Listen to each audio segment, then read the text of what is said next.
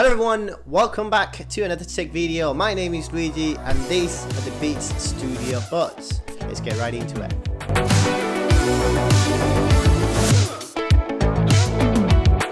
So I've had these headphones for the last two weeks and I've tested them every single day basically for the last two weeks and these are also my very first pair of uh, Beats Studio or Beats headphones.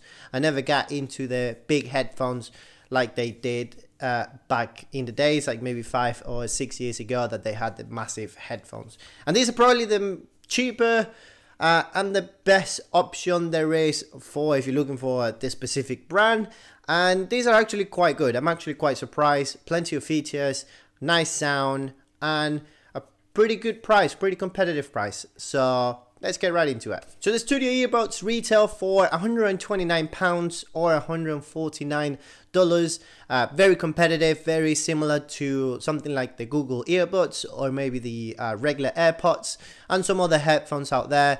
Uh, it does come with IPX4 uh, water and sweat resistant, so pretty good uh, for working out and probably good enough for like a light rain uh, out, especially at this time of the year. For the price, I think they are quite competitive compared to some other uh, brands out there. They have uh, noise cancellation, uh, they have plenty of features, and yes, they're quite nice, they're quite stylish as well, and the design is quite cool. So let's talk about the design first. The case is pebble shape, slightly larger and longer than the Google Earbuds case, but still very portable, and once opened you can see the earbuds in all its glory. They have quite a bit of a stem that pops out, which makes it easy to take out and held by some magnets.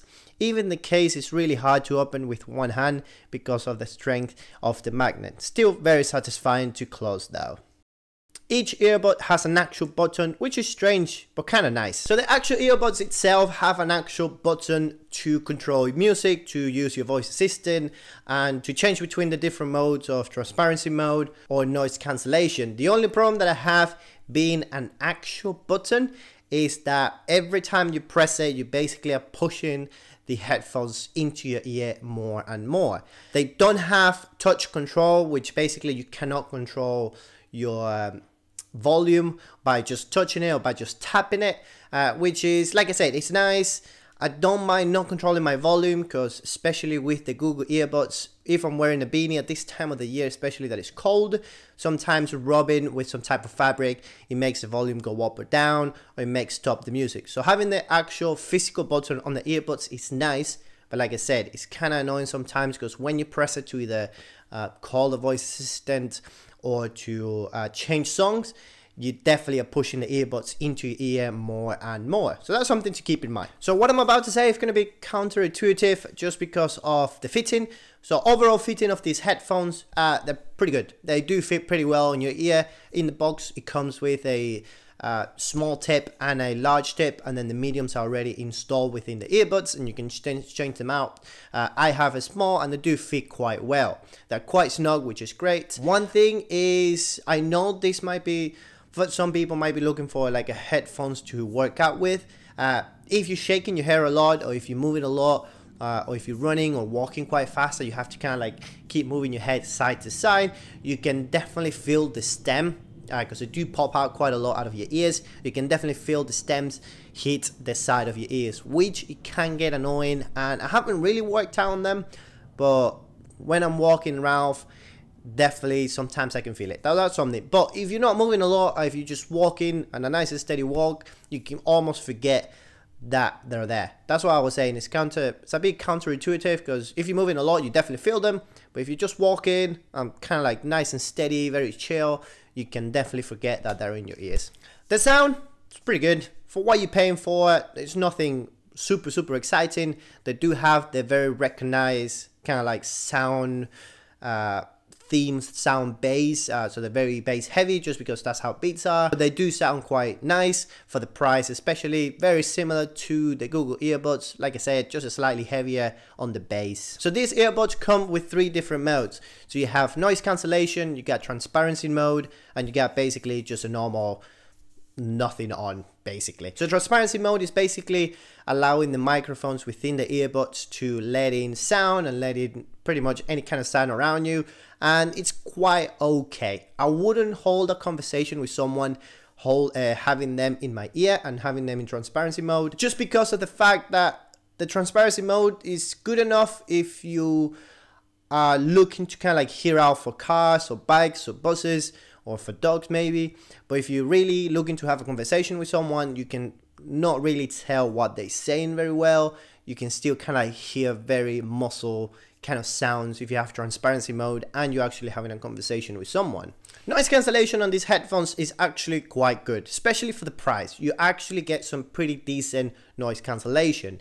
Uh, it's good enough to block out any cars, uh, to block out most noises, and then once you put a podcast on and you put music on, you definitely can barely hear a thing. Uh, they're also really good to like work in a busy coffee shop. So if you have noise cancellation on and you're in a busy coffee shop with like music around you and people talking, like I said, once you put noise cancellation plus music, you won't be able to hear almost nothing. You, they still a little bit, so they're not perfect because of the price, uh, but for that price and having those features is actually quite nice. Using noise cancellation will bring your battery life down so they are marketed and on the box says they are meant to last between 6 to 8 hours with no noise cancellation and then between 3 to 5 hours with noise cancellation and transparency mode because obviously you need uh, the microphones that noise cancellation use for uh, basically use transparency mode as well. So just keep that in mind and it gives you 24 hours of uh, charging on the actual case. I've had these headphones for two weeks and I haven't charged them since basically I got them. So I got them to full charge on the very first day that I got them and I haven't charged them in two weeks. I used them about two to three hours a day. So yeah, I'd say battery life is pretty good for the price. So these buds are created by Apple because we know obviously Apple uh, bought Beats a few years ago. So it means that if you have an iOS uh, device or whether that's an iPad, uh, an iPhone or a MacBook, they will connect as easily as if you had AirPods or AirPods Pro. But they don't have the H1 chip, which means they will connect just as easily to your Google devices, Samsung devices, or any Android devices very, very quickly. So all you have to do is just download the app and they connect basically right away. It takes basically two seconds, maybe is probably as fast as it took me to connect my Google earbuds to my Pixel 5. The app though, you're not missing anything. Really, you cannot do a lot of things on it other than rename your earbuds, uh, change between modes, between transparency mode and noise cancellation, and map out what you want to do on each earbud. So at the moment I have my left hand side, uh, if I kind of long press, I can change between modes. And my right hand side, if I long press, I can call or kind of like bring up the voice assistant. That's about it. No equalizer, no nothing else. That's as exciting as it gets. So app is pretty below average. Well, nowadays is there's not much to it. The only two things missing uh, on these earbuds, which I found interesting, one of them being touch control on the earbuds itself. Like I said, they do have a button on an actual physical button that you have to press on the earbuds to either skip a song or to uh, kind of stop and play. They don't have, you cannot control the volume. And like I say, I don't mind it. I'm actually quite happy that you cannot do that because then at this time of the year that you're wearing a lot of beanies and hats and stuff like that, uh, kind of like the contact with the fabric sometimes make them stop. But with these ones, that doesn't happen. The other thing that they don't have is they don't have wireless charging. So it means that, uh, yeah, you're just gonna have to charge them. Ch thankfully, like you can charge them by USB-C, which is great. So it will charge nice and quick. They claim to uh, give you an hour of charge in five minutes. So an hour of playback, sorry, in a five minute charge. I do miss the wireless charging because with my uh, Google earbuds, they're usually pretty much right next to my phone and they do support uh, wireless charging. And obviously my Google Pixel have wireless charging as well. So you can basically charge the earbuds with your phone uh, which is kind of nice but it's not a deal breaker. I don't mind it. In my opinion these are really good headphones. You got plenty of features. You got noise cancellation. They look great. They're nice and comfortable. And for only 129 pounds I think it's kind of a good deal. I'm not gonna lie. So these are probably the first pair of Beats headphones I can recommend you because obviously they're my first pair of Beats headphones. But compared to the Google, if you want noise cancellation, you definitely should go for the Beats earbuds. Uh, because yeah, the noise cancellation does make a difference and I'm kind of glad I have it back again. Obviously the noise cancellation not as good as the Bose 700 uh, noise cancelling headphones, but is pretty good for a 129 pounds or 149 dollars pair of earbuds. And that is all from me today guys, thank you for watching another video, please hit that like button, subscribe to the channel and hit that notification bell so you're notified next time a video comes out. Hopefully next video will be out in a couple of weeks time so it won't be such a big uh, wait until the very next video.